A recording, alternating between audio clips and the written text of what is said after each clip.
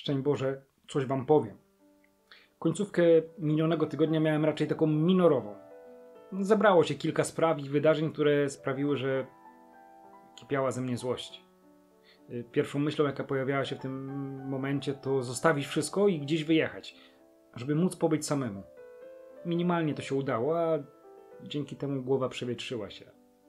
Może nie przyniosło to stuprocentowej poprawy, ale chwilowe zostawienie bieżących spraw sprawiło, że łagodniej podchodzę do tego nowego tygodnia. To samo jest w tej dzisiejszej Ewangelii, bo Jezus mówi, że musi odejść, żeby mogła nastąpić zmiana w apostołach. Jeżeli tego nie zrobi, zaczną się wszystkim zamartwiać, a to może prowadzić do tego, że zaczną się kłócić i każdy rozejdzie się w swoją stronę. Gdy usłyszeli od Jezusa, teraz idę do tego, który mnie posłał, smutek napełnił ich serce. Wiadomość, że Jezus ich zostawia, daje im pole do popisu, żeby zacząć kombinować i meblować swoje życie po swojemu. A jak po swojemu, to najczęściej znaczy tak, jakby Boga nie było, albo jakby był bardzo daleki. Ma to swoje źródło w braku wiary, który jest przyczyną grzechu.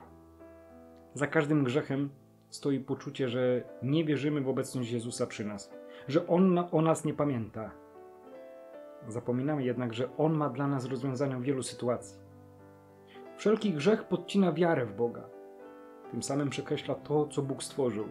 Przekreśla człowieka. Jeśli grzeszę, to uderzam przede wszystkim w samego siebie. I na odwrót. Jeśli walczę o wiarę w Boga, to tym samym staję po swojej stronie w najlepszym tego słowa znaczeniu.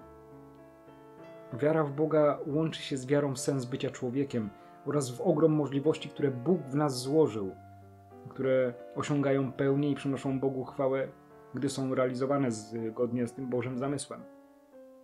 Warto więc czasami odejść na bok od tego, co się dzieje w naszym życiu. Będzie to nie tylko z pożytkiem dla nas, ale dla tych ludzi, którzy nas otaczają. Odpoczynek, jaki dajemy sobie nawzajem, nie powinien być ucieczką, ale przede wszystkim czasem nabierania sił do dalszego kroczenia. Czas regeneracji jest po to, abyśmy nabrali sił nie tyle dla naszego ciała, co do ducha, który pozwala nam spojrzeć na życie inaczej. Zobaczmy, że Jezus często odchodził na bok, żeby się modlić. Odpoczynek i modlitwa Jezusa były przede wszystkim czasem z samym sobą, ale także ze Słowem Boga. Po to, by wraz z Ojcem przemieniać świat. Odczytując na bieżąco to, co dzieje w naszym życiu, wciąż odkrywamy część siebie i działania Pana Boga względem nas.